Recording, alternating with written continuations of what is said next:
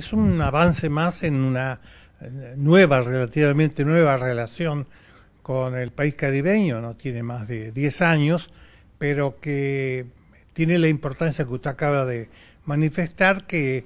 la coloca en la Argentina como exportadora de productos manufacturados, incluso de equipos de producción, para que se manufacturen productos en Venezuela, de plantas eh, llave en mano, plantas productivas que tienen que ver con insumos propios del país caribeño. Y esa realidad es muy promisoria, porque eh, ojalá pudiéramos hacerlo con muchos otros países, no solo latinoamericanos, sino del resto del mundo. Es un espacio a ganar eh, muy amplio, que tiene un horizonte muy, muy extendido y que sería muy bueno que se profundice en esa dirección. Tenemos en primer lugar Mercosur, que con la incorporación de Venezuela amplía la capacidad de venta sin aranceles, y, con el pedido de,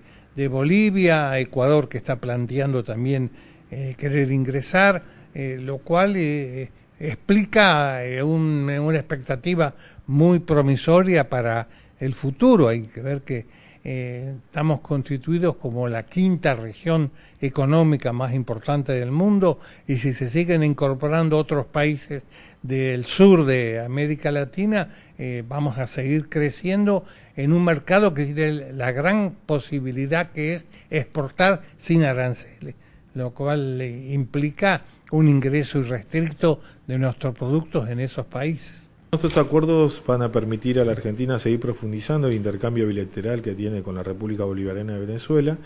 que se plantea en un aspecto trascendental que es el, los servicios tecnológicos, que es con la transferencia de la tecnología de la televisión digital abierta, que va a permitir, que ya se inauguró este año 2013, algunas, eh, algunas digamos, unidades que están dispuestas a lo largo y ancho del territorio de Venezuela, pero obviamente se quiere profundizar esto para contrarrestar un poco ¿no? La, el, espectro digamos, de comunicación que tiene Venezuela y que a veces está en disputa, está en discusión y que bueno, esto permitiría tener una televisión digital abierta al alcance del pueblo. La visita de Maduro va en esta dirección, en, la, en seguir construyendo la patria grande con la idea de tenemos los recursos naturales eh, y recursos estratégicos más importantes en el mundo, gas, petróleo, agua, tenemos la zona más importante en producción de alimentos, tenemos la tecnología, digamos, o sea, hay un conjunto de recursos en el continente que empiezan a ser eh, construidos entre un espacio como es el UNASUR